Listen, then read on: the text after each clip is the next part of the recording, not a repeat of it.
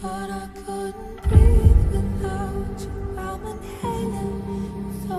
couldn't see without you, perfect vision.